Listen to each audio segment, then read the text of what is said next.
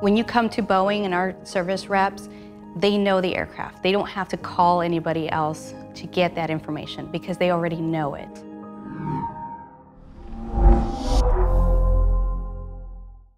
Hi, this is Colin Clark, editor of Breaking Defense here at the Lockheed Martin Chalet, which as you can see, actually it's a booth, but not really a chalet. Um, but as you can see, they've got a whole groovy new look with the uh, F-35 and screens behind us. And that's by way of introduction to some of the work that Kim Ponders here is doing on multi-domain operations. Lockheed uh, had me in to uh, have a look at their latest work on MDO and Kim, two years ago, I came in, we did the uh, war game. Where have we come since then? So, so that was a tabletop exercise that we did at the Lighthouse. I think that's the one we worked with the Air Force in looking at processes behind airspace and cyber operational planning how you would work together, what kind of organizational constructs you would use, what kinds of processes, what kind of critical information do the operators need in order to put an integrated, synchronized, multi-domain plan together that can be executed through the tactical edge. Right, and where have we come since then? Where, where are we now? Sure, so th those processes and those organ organizational constructs are still in development. That's still very much a part of the Air Force's priority in terms of trying to understand how to execute multi-domain operations.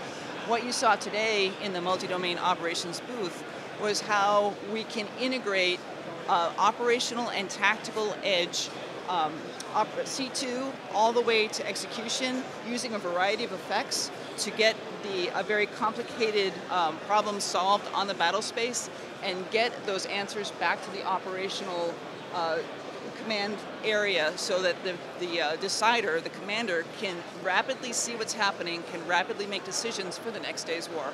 Now, one of the things we saw was that uh, the network is, uh, it just doesn't work without a good network.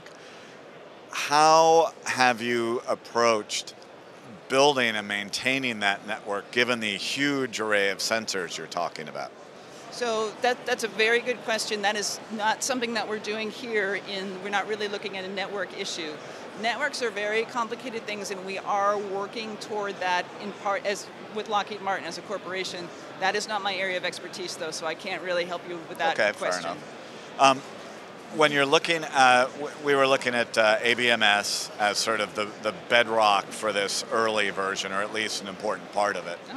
Oh. Um, how do you tie together uh, all of these sensors with artificial intelligence and machine learning and uh, operate across what used to be all these stovepipe systems? Mm.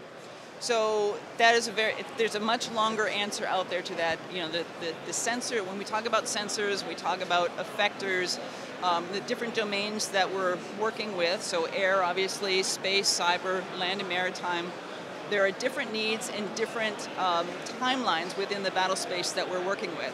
So tying them together involves um, um, bringing in some algorithms so that we understand how to integrate the systems, how to be able to display information and get it to the operators who need it. So the, you know, the operational C2 may have a different kind of picture need than a tactical C2, um, and then depending on where, where that operator is in the battle space, they might need to see it at a different time, at a different pace, and a different quality of information. So very complex questions, uh, but those are all things that we're addressing in our multi-domain operations. So one of the things that uh, you hear a lot about from folks who maybe aren't as close to the coal face as you are is multi-domain operations. It's just another Pentagon buzzword. What would be your answer to them? Uh, I think we've come far enough that we know that it's much more than an operational buzzword at this point. Um, I mean, it's something that the Air Force has taken very seriously.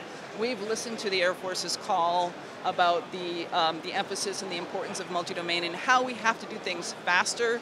I mean, the, the battle space is getting more complex, timelines are getting more converged, and we are going to see things happen at a much faster pace and with much more complexity than we have in the past. That's a reality, and that's multi-domain operations.